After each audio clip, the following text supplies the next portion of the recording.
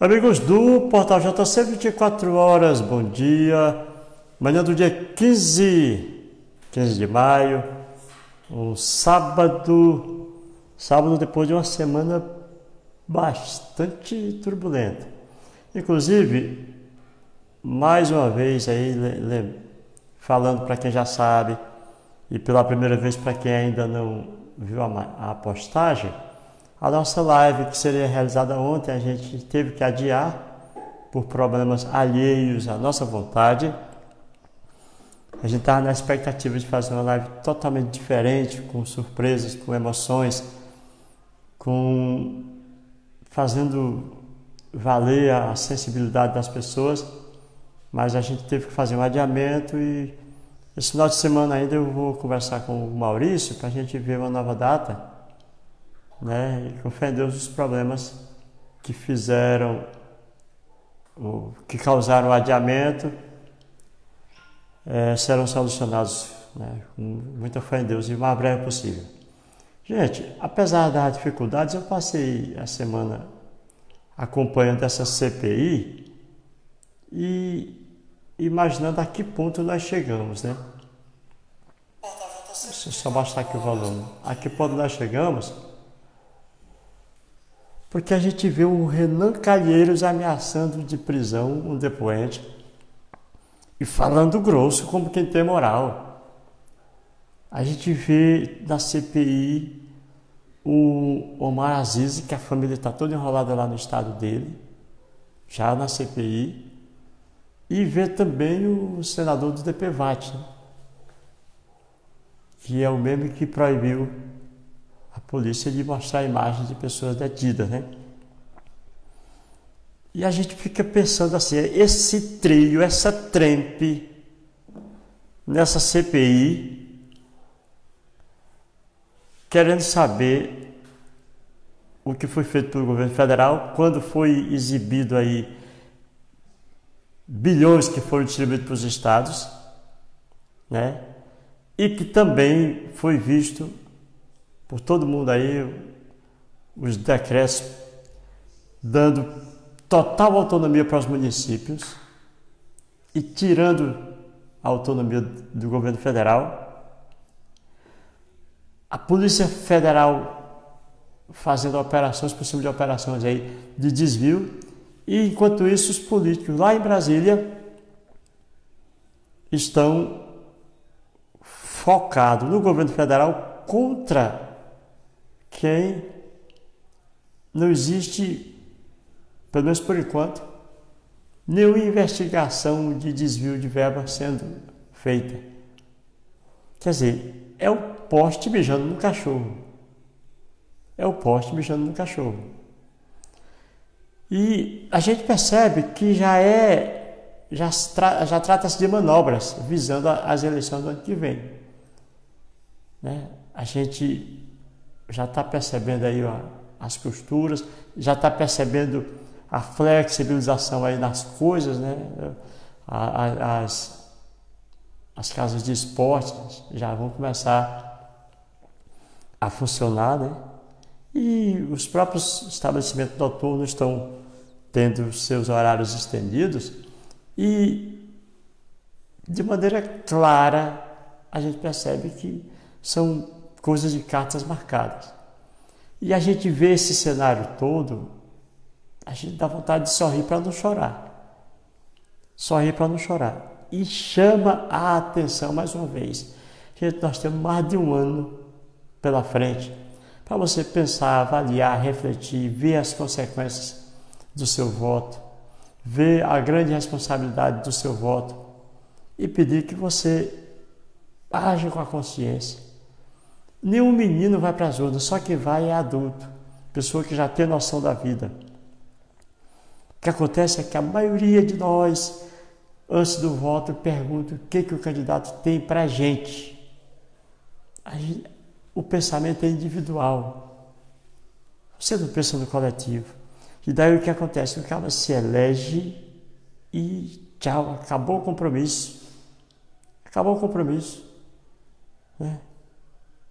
E o que, que acontece? A gente vê gestores que são verdadeiros donos.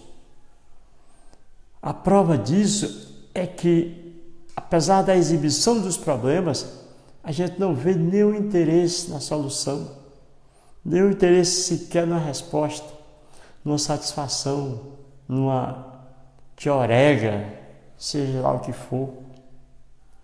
Então, a gente, nós vamos estar sempre chamando a atenção de vocês, pedindo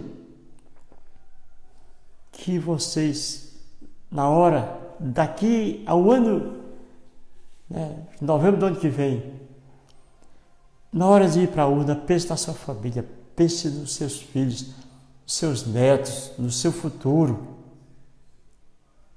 Vê se a gente consegue cada vez mais um número maior de votos conscientes.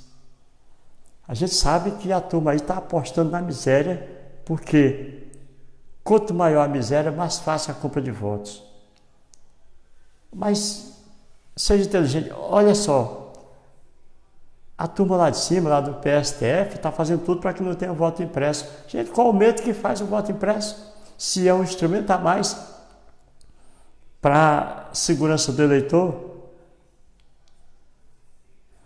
O Augusto Souza está dizendo aqui: quando vejo Renan Calheiros, relator de uma CPI, é como ver Dilma corrigir redação do Enem, inversão de valores.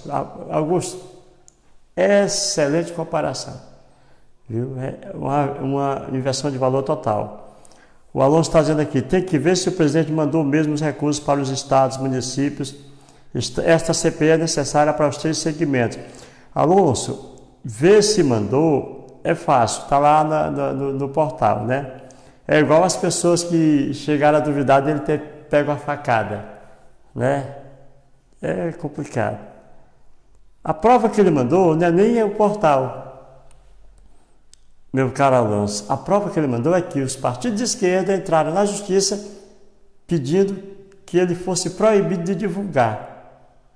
Né? Se não queriam que ele dissesse que estava fazendo, significa que ele estava fazendo. Se não tivesse, não ia ter o que proibir, né?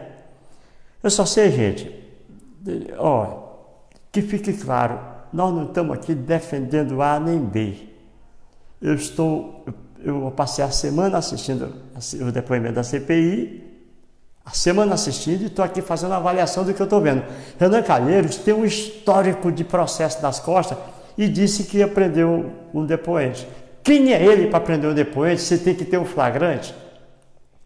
Outra coisa, se você nunca assistiu, ou se você assiste com a visão tendenciosa, assista de maneira imparcial como eu assisto, você vai perceber que ele faz a pergunta e antes que a pessoa termine de responder, ele já corta. Ele já corta. A pessoa diz uma coisa, ele vai e interrompe. Um depoimento, para ser sério, a pessoa que faz a pergunta tem que deixar o depoente concluir o raciocínio. Quer ver? Pode observar. Assiste e perceba que eles interrompem. Gente, é do nosso futuro que nós estamos falando. Eu não estou aqui defendendo Bolsonaro, que Bolsonaro nem me conhece. Eu já disse várias vezes, se eu tiver um dia, se eu tivesse um dia que defender o político, eu defenderia um da minha cidade que pode fazer alguma coisa por mim, me arrumar um contra-cheque gracioso uma parceria para o portal, coisa que eu não quero.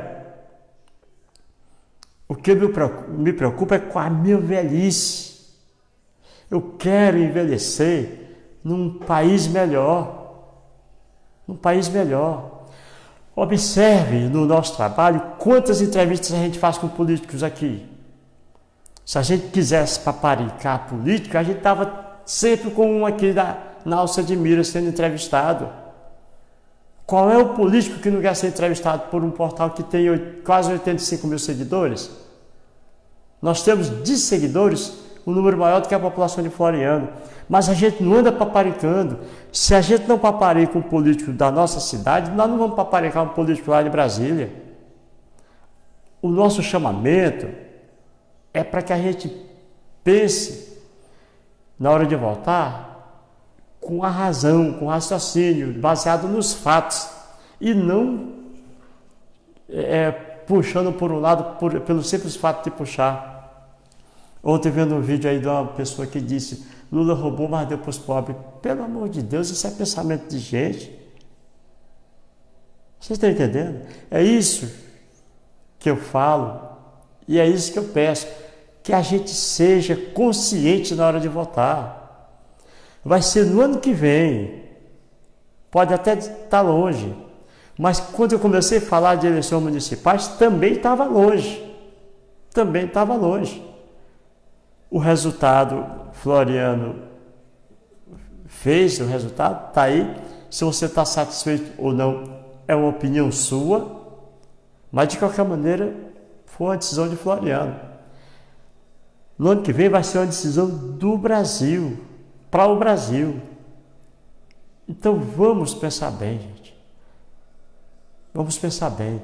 Quem assumir no ano, quem, quem ganhar no ano que vem, vai ter quatro anos pela frente. Entendeu? E as coisas estão claras, estão cristalinas, só não vê quem não quer. Certo? Só não vê quem não quer. Assista a CPI, você que está me assistindo agora, mas assista com, com a razão. Esqueça a tendência, esqueça o, o, candidato da sua preferência, esqueça, avalie o que você vê naquele momento. Renan Calheiros, Omar Aziz e o, e o Randolfo Rodrigues, que é o DPVAT. Entendeu? Randolfo Rodrigues, que é o que proibiu a polícia de. A polícia não, a imprensa lá dentro da delegacia de estar fazendo imagem, né? Garibaldi está dizendo: voto impresso é um comprovante que poderá ser exigido pelo coronel. Não, rapaz. Garibaldi, voto de cabresto já existe praticamente. Já existe. Ou será que não? Será que os resultados das eleições que a gente tem visto nos últimos tempos têm ido de encontro ao que se ouve nas ruas? O Cabo do Cabresto que antigamente era na, no carro-pipa, antigamente era na cesta básica, hoje a bandeira é diferente. Entendeu?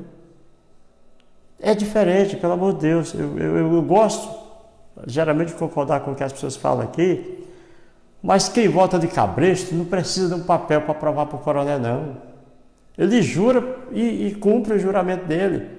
Esse voto impresso é para comprovar aquele que votou de maneira consciente. Se a gente for buscar na internet o número de reclamações de pessoas das eleições passadas, aqui tem um, tem um candidato a vereador que na urna que ele votou com a família não apareceu nenhum voto.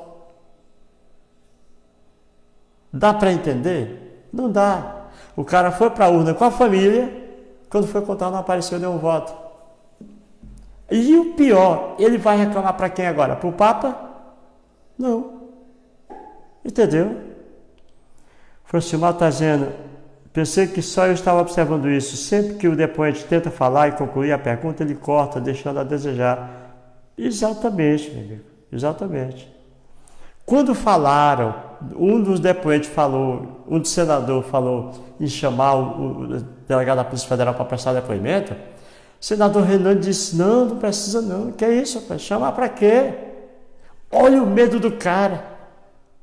Olha o medo do cara. Mas existe na Bíblia um trecho que diz que não tem nada encoberto que não seja descoberto, né? não existe pedra que não seja derribada. O Augusto está dizendo, o iluminista ministro Barroso, discípulo de João de Deus, quer continuar comandando que ganha, né? Exatamente. Romildo Barros está que concorda, que medo é isso? Não dá para entender. Ó, o, o, o, o, nosso amigo Garibaldi falando aqui, o coronel exigiu, o coronel não precisa de papel. Quem vota de cabresto não precisa, ele jura de pé junto e não vai ser com papel que ele vai aprovar, não. Entendeu? Você sabe, Garibaldi, que no voto de cabresto chegou a um ponto tão grave que o cara, ao invés de pagar para o sujeito votar, olha só, ele paga para o sujeito não votar. Ele oferece a quantia X, pega os títulos da família, quando era no tempo do título, entendeu? E acabou a história. Hoje não, hoje é, na, é, é o voto é, é, é na digital, tá? a coisa melhorou mais um pouquinho. Gente, encerrar para o vídeo não ficar muito longo e eu confesso que eu estou muito preocupado com o nosso futuro, porque quando eu vejo essa trempe lá em cima, querendo prender pessoas que não têm sequer um processo nas costas, eu chego à conclusão que cada vez mais tem mais poste mijando no cachorro. Preocupante, para não dizer assustador. Gente, compartilhe esse vídeo e lembrando mais uma vez, em breve, aqui para segunda-feira, a gente vai estar com a nova data da live, viu? A gente está com uma pessoa da família passando por problema de saúde e isso desestrutura qualquer ser humano. A gente fica sempre. É, é, abala né, a estrutura da gente. Mas com fé em Deus, logo, dentro em breve, vai estar tudo resolvido. Muito obrigado a cada um de vocês. Que Deus abençoe a todos nós. Portal JC, 24 horas com você.